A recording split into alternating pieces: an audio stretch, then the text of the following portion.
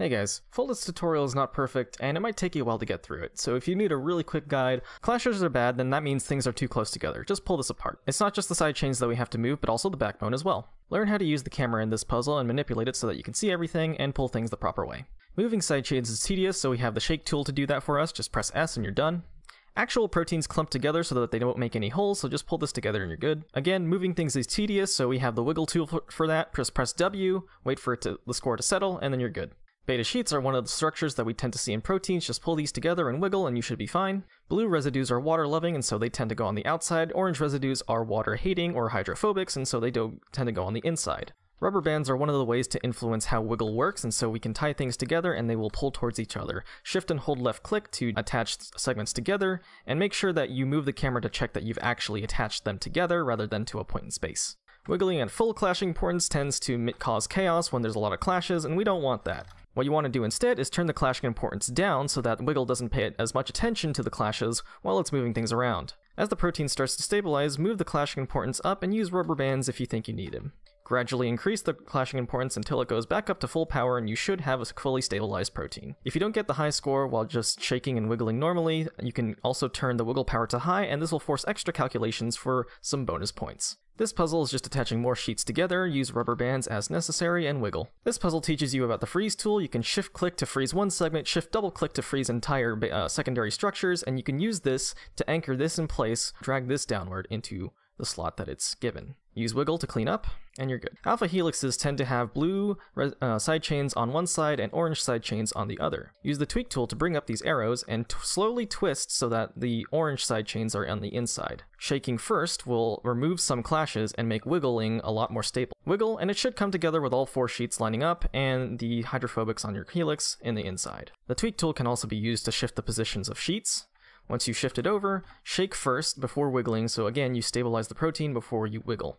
This puzzle puts most of your skills together, freeze this segment, drag this beta sheet over, use rubber bands to align the segments together properly, use wiggle to clean up the rest.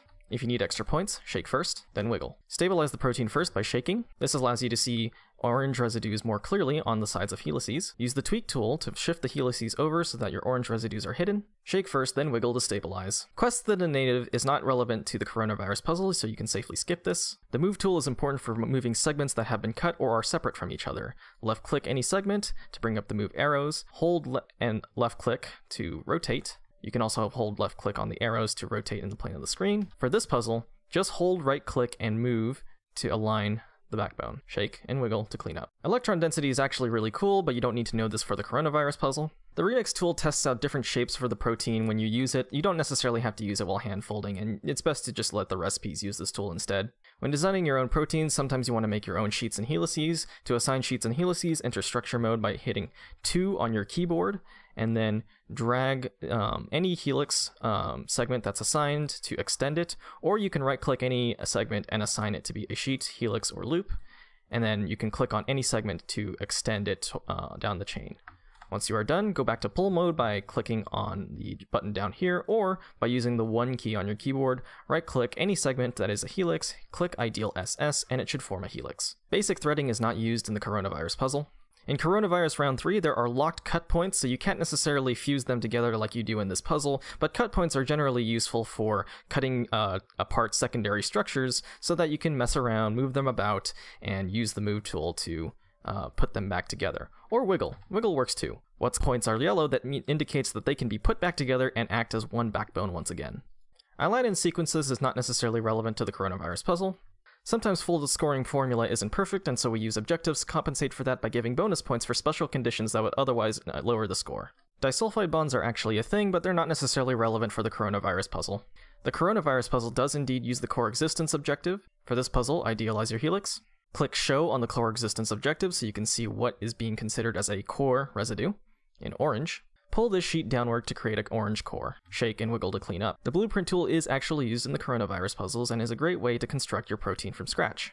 You can drag and drop building blocks and see how your protein will be affected in real time. Using building blocks does lock down your protein a bit, so to get the final high score, make sure to remove all your building blocks when you're done. Shake and wiggle to clean up. This tutorial puzzle allows you free reign over how you use the blueprint tool. You can drag and drop uh, secondary structures to make them on the spot. You can also reassign secondary structures by clicking and dragging on the blueprint tool. Keep in mind that there are different connectors, so you can go from helix to sheet, sheet to helix, etc., and replace building blocks as you see fit, along with secondary structures. Feel free to make your own solution to this puzzle, and also note once you've reassigned secondary structures, you can hit idealize SS, and it will do that for the entire protein. As always, wiggle to clean up. To change individual side chains, enter design mode by hitting 4 on your keyboard, left clicking something, and changing it to whatever you want. Changing things goes both ways. If you want to fill the void, use large residues like such as tryptophan or phenylalanine. Picking residues one at a time, it tends to get very, very tedious. Once you've changed 3 in this tutorial, you'll get access to mass mutate. You can hit M on your keyboard or click the button, and it'll start picking side chains automatically. This will be very useful for once you get your rough draft structure down in the coronavirus puzzle. Design mode can also be used for adding and subtracting segments by right-clicking. You can use wiggle to clean up, mass mutate to auto-pick sidechains for you, or design mode and individual mutate to fix individual sidechains. All four of the ligand puzzles are not necessarily relevant to coronavirus and can be revisited later. And there you have it, a speedrun of the tutorial puzzles as they pertain to the coronavirus puzzle. If you want to figure out how a veteran like me uses all the tools and the tutorials that I just mentioned to make something like this for your coronavirus puzzle solution, check out my streams. I stream on twitch.tv slash S0ckrates, that's spelled S0CKRATES. And thanks for watching.